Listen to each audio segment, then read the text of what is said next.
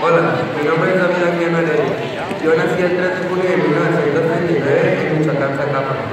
Mi madre es María de Socorro Heredia Ayala y mi padre es ahí Anguiano Ambriz.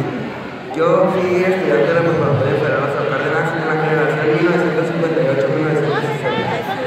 En ese tiempo eran dos años de escuela, ya que era una preparatoria por cooperación.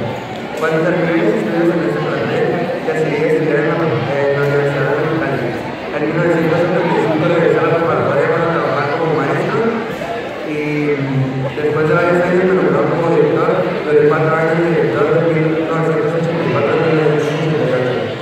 Después renuncié por un movimiento de derechos que hicieron los alumnos trabajé 44 años como maestro. Me estudié en 1993 y actualmente sigo dando experiencias de vida y de asesorías a mis alumnos de cómo un joven estudiante de la preparatoria se puede ser un director de una prestigiosa.